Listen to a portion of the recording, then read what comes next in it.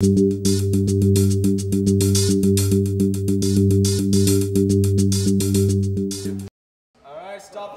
long ago, scientists at Los Alamos National Laboratory's Trident laser facility broke a world record for the production of neutrons by a high intensity short pulse laser. One of the first applications that we decided to study is the detection of nuclear material using one single burst from, uh, produced by the laser.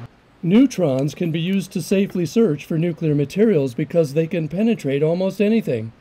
And when they encounter certain nuclear materials, they can cause a small fission reaction that's relatively easy to detect. The neutron production from the laser is very, very intense because everything happens in a, a, very, very short time. The good thing about this, the neutron induced fission, is that the delayed neutrons come out over a period of seconds to minutes, which gives you a lot longer time to record the signal. So this is the Trident North target chamber. We have our neutron detectors arranged around this area, some with the uranium target inside and some empty. And so we can measure the signal to background ratio of the uh, interrogated neutrons. The experiment went very well.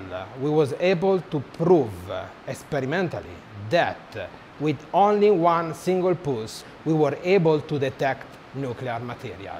Being able to generate neutrons with a, comp a more compact piece of equipment would allow a lot of applications, but the ones we've been concentrating on is looking for customs or border uh, inspections to try to find uh, smuggled nuclear material. Today, active detection of clandestine nuclear materials is still somewhat impractical, requiring a huge stationary facility or long measurement times.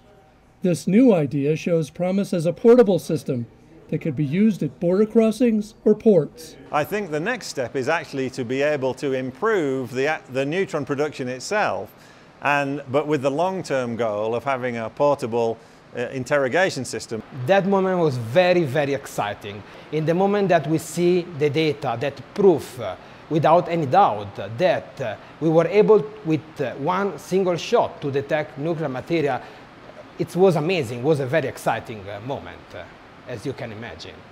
I'm Kevin Roark for Los Alamos National Laboratory on YouTube.